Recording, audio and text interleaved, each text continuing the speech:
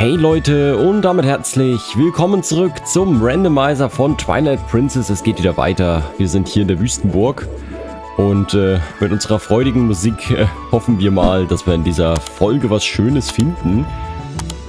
So, es geht erstmal weiter. Äh, diesen Bereich sollten wir, glaube ich, jetzt noch gar nicht erforscht haben, richtig? Warte mal, ich bin gerade in die falsche Richtung gegangen, kann das sein? Hier, ja, ja, ja, ja, ja. Wir sind schon rübergesprungen im letzten Part. Geil. Ja, das fängt ja gut an. Erstmal komplette Verwirrung hier. Gut, diesen Bereich hier sollten wir noch nicht erforscht haben. Also wir waren hier, glaube ich, schon mal. Aber halt noch nicht äh, hier oben. Genau, wir können jetzt uns hier, glaube ich, auch einen Shortcut machen. Wenn ich jetzt hier runterspringe, kann ich diesen Stein hier verschieben. Und dann haben wir erstmal einen Shortcut, glaube ich. Genau, jetzt können wir nämlich jederzeit hier hoch. Und können auch hier quasi immer wieder zurückgehen und abkürzen. Das ist schon mal ziemlich cool. Ich sehe auch schon eine Schatzkiste auf der Karte. Äh, Schlüssel haben wir aktuell keine mehr. Ich hoffe, wir kommen so weit, dass wir die Tür öffnen können. So. Bin mir noch nicht ganz sicher, ob das jetzt klappt, was ich hier mache. Die Sandwürmer greifen bestimmt gleich an, oder? Guck mal, da kommen sie schon. Boah, zum Glück ist der so dumm. Und hat sich auf die Ketten bekommen.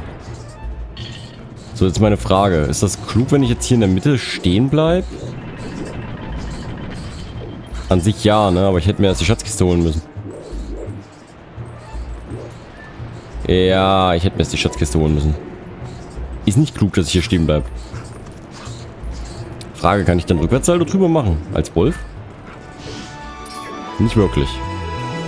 Okay, dann, äh, ja, noch eine Runde. Das war dumm.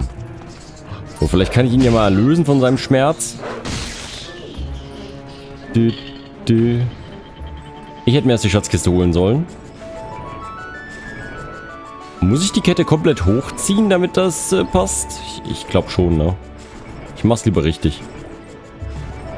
Bevor ich es zweimal mache. So, genau. Schatzkiste. Ich hoffe auf was Gutes. Ah, cool. Bomben. Ja, ich doch stehen lassen können. Aber nice, wir haben es gleich geschafft nochmal. So, wir müssen nach da, ne? Da hinten ist der Rückweg. Das heißt, jo, hier lang. Da gibt es auch nochmal zwei Schatzkisten. Vielleicht auch ein Geist. Ich glaube, hier gibt es auch nochmal einen Geist. Okay.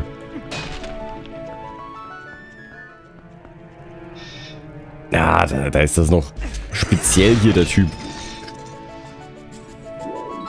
Ähm, Morgenstern sind die einfach so easy, ne? Damals war das halt so ein Gegner ohne Morgenstern. Musste man sich mal ein bisschen anstrengen. Ach, wieder nur 20 Pfeile. Ich ticke aus hier. Aber eine Geisterseele haben wir trotzdem nicht bekommen. Also einen Geist gibt es hier trotzdem nicht. Jetzt haben wir eine Geisterseele bekommen. Cool. Okay. Ja, dann äh, weiter geht's. Boah, wann bekommen wir denn endlich den nächsten Geist? Ach nee. Ah, das ist hier auch so ein ekliger Raum.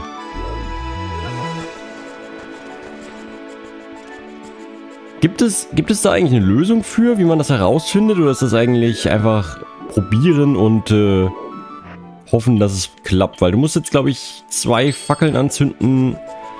Boah, ich weiß auch nicht. Ist es die hier? Die ist es nicht. Man muss, glaube ich, zwei bestimmte Fackeln anzünden.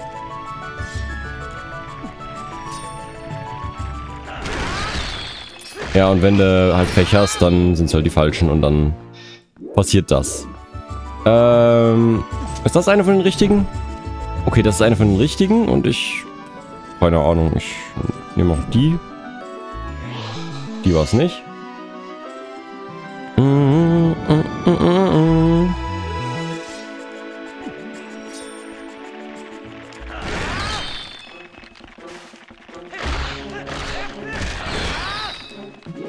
Okay, also die Mitte, die hat man jetzt, die hat man jetzt. Machen wir mal ganz rechts außen. Okay, ganz rechts außen ist auch falsch. Ich bin so traurig. Ja, keine Ahnung. Gibt's, gibt's da, wisst ihr da was? Äh, gibt's da einen bestimmten Weg, wie man das rausfindet?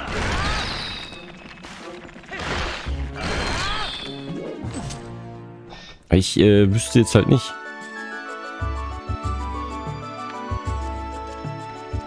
Äh, das hat man, das hat man ganz außen. Okay, dann ist es das und das, oder? Ja. Das öffnet die Türe in den nächsten Raum. Du, du, du, du. Schön. Gut, hoffen wir mal. Wann kriegen wir denn endlich den nächsten... Ja, hier gibt es den nächsten Geist. Ist auch der letzte, glaube ich, ne? Dann müsste sich... Ja, da ist er doch. Hey du, ich sehe dich. Hallo? ah, natürlich. Der muss nochmal special sein, ne?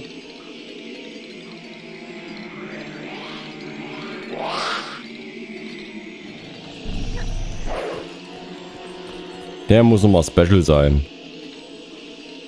Ich weiß gar nicht mehr, was, was machen die jetzt hier? Die drehen sich fröhlich im Kreis und dann greifen sie an, oder wie?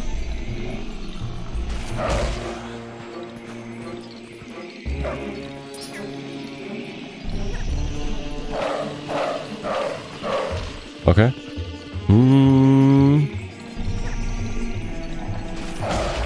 So. Und dann war es das mit dem. Und wir bekommen tatsächlich eine Geisterseele schon wieder. Aber gut, das war Nummer 53. Ich bin guter Dinge, dass wir sie alle kriegen. Ähm, denn in Kumula gibt es dann ja noch welche und in Schloss Hyrule gibt es auch noch welche. Und dann haben wir das ja an sich. So. Ansonsten war hier nichts weiter, ne? Ne. Ja, bin ganz zufrieden mit mir. Okay, hier kommen wir jetzt wieder raus. Und das bedeutet auch, wir sollen zurückgehen. Uh, das war vielleicht jetzt nicht so schlau. Aber ich krieg's trotzdem hin, oder? Ja. Oh, Gott sei Dank. Gut, Hauptraum, Leute. Und dann geht's... Ja. Durch die große Tür. Erstmal ein Stück Kaffee, würde ich sagen. Haben wir uns verdient. Äh, warum habe ich eigentlich hier Temple of Time noch nicht abgeschlossen? Da sind wir doch komplett durch. Zeittempel ist komplett fertig.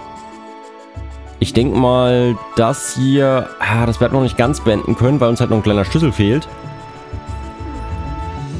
Bin mir auch relativ sicher, dass wir den jetzt nicht so schnell bekommen, den kleinen Schlüssel. So, okay. Wir haben halt schon den Kreisel. Normalerweise wird man den jetzt erst bekommen, aber wir könnten theoretisch jetzt hier schon durchstarten. Hier können wir nichts machen. Also hier könnte ich schon rein. Ich mache es aber erstmal so. Was war denn das jetzt hier für ein Raum? Ah, hier ist der große Raum. Aber kann auch sein, dass ich hier jetzt den letzten kleinen Schlüssel eigentlich brauche. Das kann sein. Mal gucken. Ich mache mich erstmal wieder zum Menschen. Und dann schauen wir mal, was hier passiert. So, ich drehe einfach mal nach... Ist es unten oder oben? Das ist oben. Ich drehe mal nach oben. Genau, da ist auf jeden Fall eine Schatzkiste. Ah ja, dann muss ich hier rumlatschen. Die holen wir uns erstmal. So, rein da. Oder her damit. Herzteil. Herzteil finde ich gut. Nummer 34, das passt auch soweit. So. Jetzt halt die Frage. Komm erstmal her, Kumpel. Geht's jetzt hier noch weiter hoch? Also ja, schon, ne? Aber ist da noch was, was sich lohnt?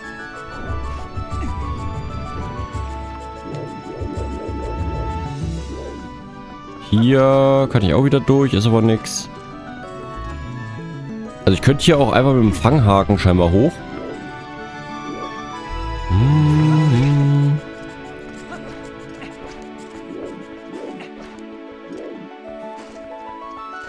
Ich gucke mal kurz auf die Karte, ob hier noch irgendwas ist.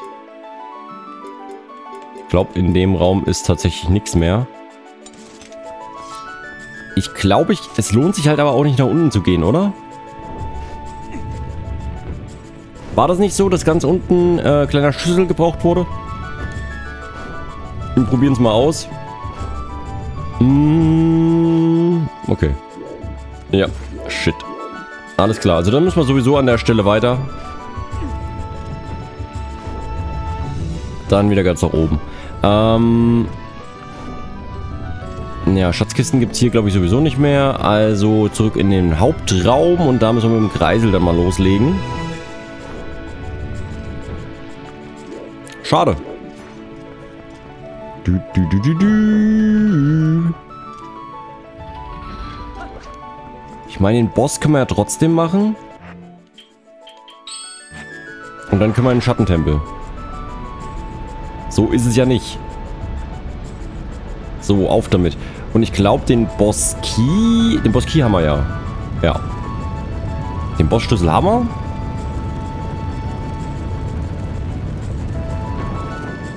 So, und da den Boss Key, äh, also der, der vermeintliche Boss Key, ich weiß gar nicht, kommt man da hin? Oder muss man das... Ich glaube, das muss man über den Umweg von rechts machen, oder? Eigentlich. Na gut. Dann wollen wir mal. Ist auch so cool hier.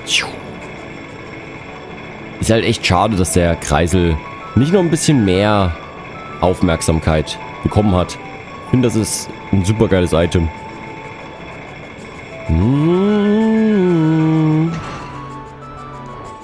So. Dann drehen wir das Ding hier hoch und dann äh, es, glaube ich, auch schon zum Boss. Wenn ich mich recht entsinne. Ah, das so cool. So. Und jetzt hier hoch. Hey, ich finde das saugeil. Genau, und das ist der Boss. Let's go. Schön. Freue mich drauf.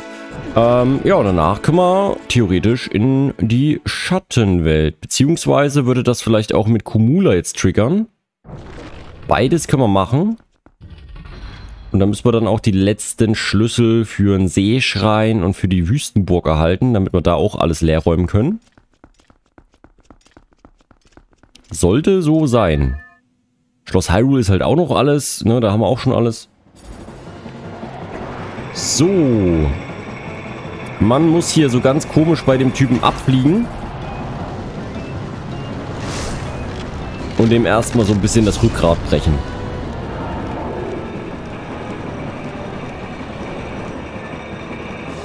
Kommt es, glaube ich, so ein bisschen auf Glück an. Weil, genau, man hat da...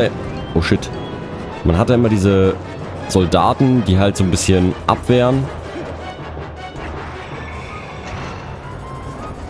Was war das denn? Meine Güte. Hm. Ah, ich drücke die falsche Taste. Ich, ich merke es gerade selber. Ich bin doof. Ich, ich äh, greife ja auf A an und nicht auf der Taste, wo ich ausrüste. Shit. Das war ja schlecht. So. Du, du, du.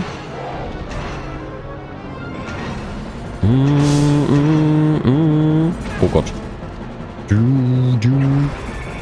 Richtig schlecht. So, jetzt aber. Ich bin dran vorbei. So. Und einmal noch und dann geht es auch in die zweite Phase.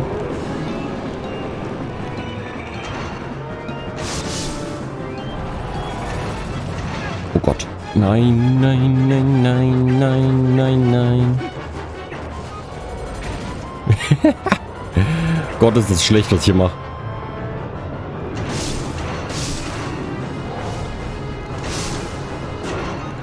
So, jetzt. Ah, Mann, aber. Zack.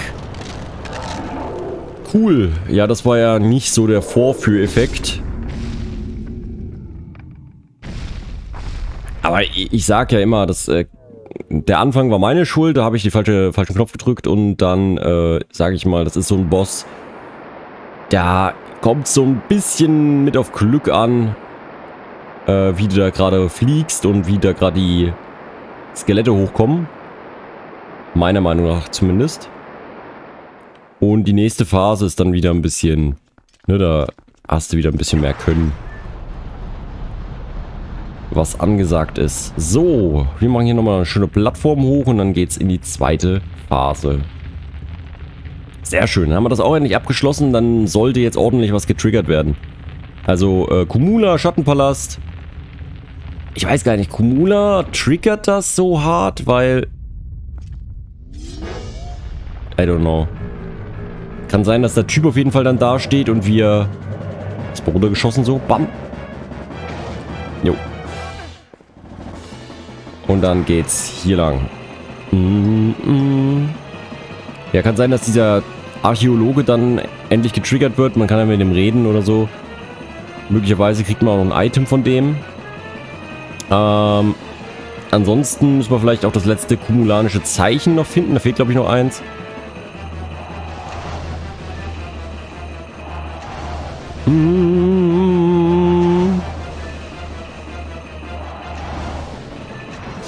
Bam, Alter. Du, du, du, du, du, du, du.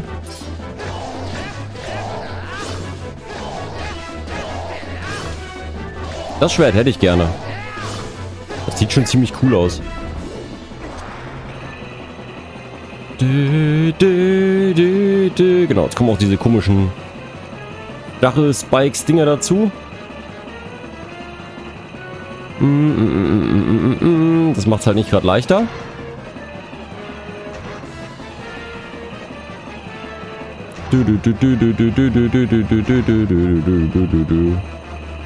Wo ist er denn?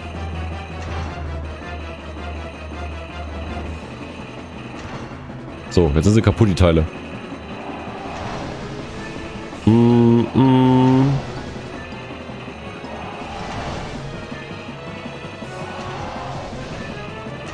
Bam. Jawohl. War es das schon oder geht es jetzt noch eine dritte oder dritte Runde? Ich glaube schon, ne? Ne, war's schon. Okay, easy. Sehr schön.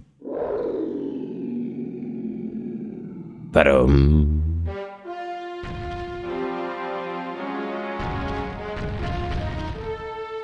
Okay, wir kriegen ja noch ein Item vom Boss.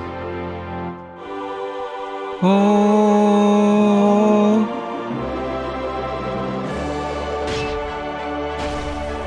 Ah, Geld. Menno. Ja, hier gibt es ja kein weiteres Item. Weil Schattenkristalle haben wir ja alle. Beziehungsweise wurden uns ja abgenommen. Von Sando. Gehen wir, Link. Der Schattenspiegel ist in greifbarer Nähe. Ja, wir haben auch schon alle Teile. Da kann es direkt losgehen. So, 100 Rubine am Start. Und äh, ja, ich denke im nächsten Part entweder Schattenpalast oder Wolken. Speichern. Erstmal speichern. 17 Stunden spielen wir schon, beziehungsweise 18. Hm. 18, weil ich jetzt gerade sehr lange offscreen rumstand. Okay, und jetzt sollte es theoretisch... Warte mal, jetzt gibt es erstmal einen Kampf, oder? Gegen die Schattenbiester. Dann haben wir nämlich auch einen Teleporter hierher. Oder haben wir den jetzt direkt? Nee. Let's go. Hm. Aber wir können direkt in die Schattenwelt. Das ist sehr schön. Wir haben auch das heilige Supermaster-Schwert schon. Ne, durch den Solaros-Effekt verstärkt. Oder Solareffekt, wie auch immer das Ding heißt. Äh, so, wie viele Gegner haben wir denn eigentlich?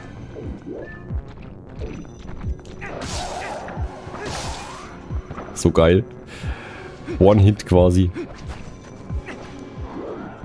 So, okay, da haben wir auch noch einen. Fledermäuse. Und das müsste gewesen sein. Perfekt. so geil mit den Schatten, äh, gegen die Schattenbiester, dass das Schwert so stark ist. Das macht alles so einfach. So Leute, damit können wir uns hier teleportieren und wir können in die Schattenwelt.